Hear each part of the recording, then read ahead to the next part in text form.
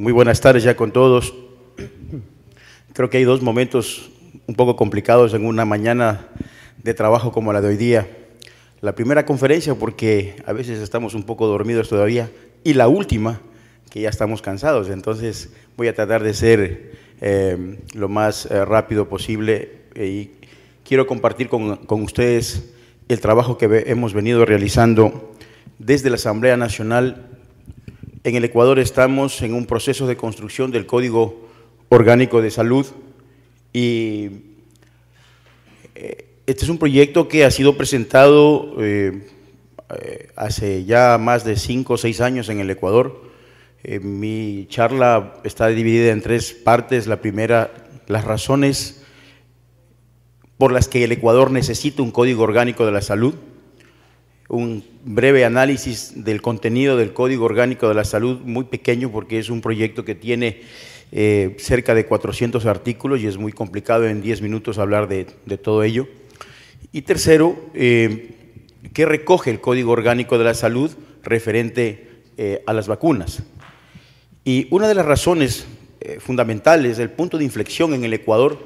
por las que necesitamos esta normativa legal fue precisamente la Constitución de la República del Ecuador aprobada en el 2008. Hoy en el Ecuador tenemos dos leyes que nos rigen al sistema nacional, al sistema de salud. Ambas son preconstitucionales, por lo tanto tienen una normativa que no se puede ya eh, poner en práctica. Aparte de eso, en el Ecuador tenemos eh, cerca de 40 leyes en salud también Muchas de ellas eh, se contraponen, construidas a lo largo y ancho de la historia del Ecuador,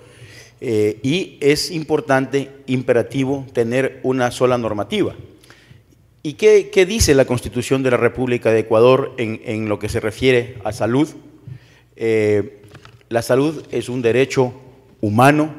como otros derechos que tiene el ser humano, el derecho a la educación, el derecho a la alimentación,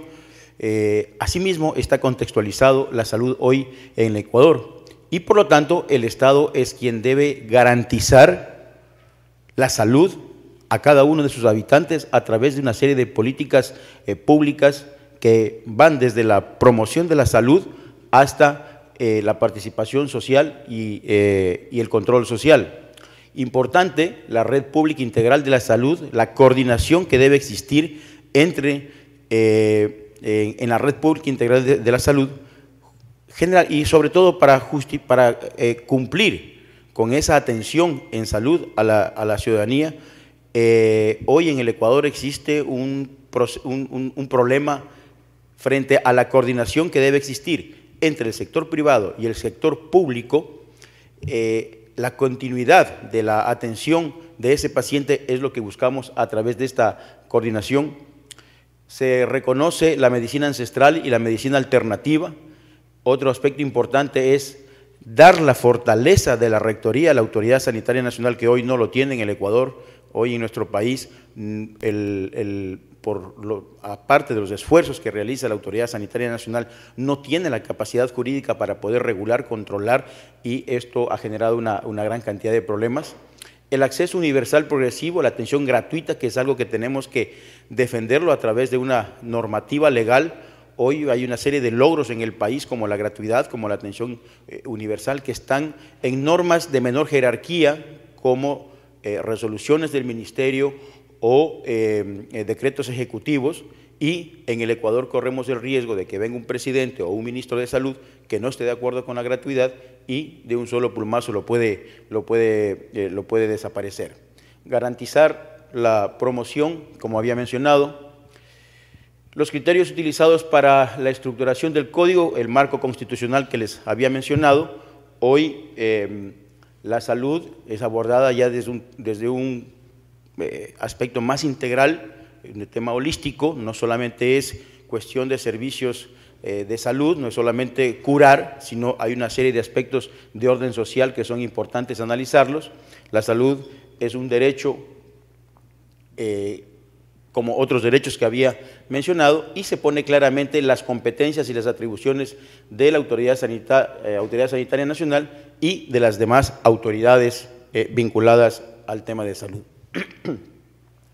Dentro de los avances del Código Orgánico de la Salud, organizar el Sistema Nacional de Salud, que es importante en el Ecuador, establece de manera clara las relaciones al interior del Sistema Nacional de Salud, define la planificación territorial, territorial y la adscripción poblacional en el territorio, eh, fortalece las agencias especializadas para el control de la calidad de los servicios de salud. Había un debate enorme al interior de la comisión cuando eh, muchos de los asambleístas decían cómo convertimos al Ministerio de Salud o a la Autoridad Sanitaria Nacional en juez y parte. Entonces, en ese sentido, se fortalece mucho a estas entidades de control para que garanticen esta atención o el Sistema Nacional de Salud. Se eliminan los trámites y se facilitan los procesos de registro y se fortalece el control posterior de acuerdo al perfil de riesgo de productos y establecimientos. Aspectos fundamentales que queremos ser contundentes y darles eh, mucha fortaleza en el Código Orgánico de la Salud. La promoción de la salud es uno de, de ellos se pone de relieve, la, la promoción de la salud como una herramienta para incorporar políticas saludables, fundamental eh, el énfasis en la alimentación eh, saludable la soberanía alimentaria. Eh, se establece el rol y las responsabilidades de la población y otras entidades para la detección contención de riesgos de la salud pública. otro aspecto fundamental es el cuidado integral de la salud, se establece la regulación y el control sobre el uso del material genético humano, se visibilizan temas de política pública antes que no existían o relegados en el Ecuador como son la salud mental y los cuidados paliativos, eh, se instalan los cuidados paliativos y de largo plazo como parte de los cuidados del cuidado integral de la salud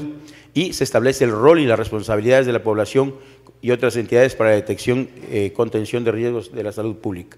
Esta es la estructura del Código Orgánico de la Salud actualmente, tiene un título preliminar eh, que habla sobre el objeto, ámbito y principios, normas, eh, derechos. El libro 1 que habla sobre el Sistema Nacional de Salud y Talento Humano, un libro 2 que habla sobre el cuidado integral de la salud y un libro 3 que habla sobre el régimen y control eh, y sanción. Actualmente nosotros al interior de la Comisión de Salud hemos aprobado ya el título preliminar, el libro 1, Aspiramos que para la primera semana de septiembre podamos aprobar el libro 2 y hasta finales de septiembre haber aprobado el libro 3 y así poder entregarle a la presidenta de la Asamblea Nacional este informe que es ya para segundo y definitivo debate.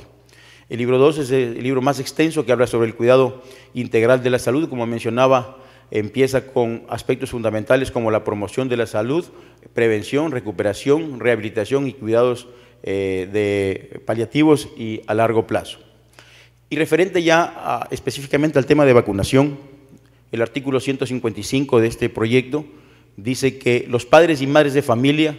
tutores o representantes legales de los niños, niñas y adolescentes, entidades educativas, instituciones públicas y privadas tienen la obligación y la responsabilidad de vigilar que se aplique y cumpla el esquema nacional de vacunación establecido por la Autoridad Sanitaria Nacional. Eso es lo que reza en el artículo 155 en este momento, en este proyecto. Se está estableciendo una corresponsabilidad también con los municipios y con las provincias para generar todas las políticas públicas para evitar eh, estas enfermedades inmunoprevenibles y allí hay una coordinación con el Ministerio de Salud. Hoy en el Ecuador hay un eh, proyecto que lo maneja el Ministerio de Salud que se llama Municipios Saludables y es en coordinación justamente para generar todo ese tipo de políticas públicas para disminuir estas enfermedades eh, inmunoprevenibles. El artículo 161 de nuestro proyecto dice que se declara de interés nacional las vacunas y esto es fundamental porque obliga al Estado, obliga al Estado a proteger el presupuesto que será destinado a, las vacunas eh, y si no lo hacen se, someten a sanciones eh, que, puedan, que puedan darse. Allí ustedes tienen todos los artículos que hablan sobre las vacunas, sobre las enfermedades inmunoprevenibles que constan, constan en este momento en el Código Orgánico de la Salud. En el 301 eh, hablamos sobre los biológicos, los biosimilares, en el 310 sobre la importación y la adquisición de las vacunas, que es importante también eh, tener un articulado. Eh, en la disposición general novena hablamos sobre la partida presupuestaria, lo importante que es el financiamiento y la obligatoriedad del Estado que tiene para mantener el recurso necesario eh, a través de un proceso reglamentario indiscutiblemente. Eh, y eh, dentro de los retos tenemos que, particularmente como asambleístas, nuestro primer reto en este momento es justamente aprobar el Código Orgánico de la Salud, darle al Ecuador esta normativa legal que es fundamental y ya como Estado, pues nosotros aquí tenemos ya 28 años sin poliomielitis, 22 años sin sarampión eh, autóctona, 14 años sin casos de rubiola, 24 años sin casos de difteria. Yo creo que esos son los retos de mantener y,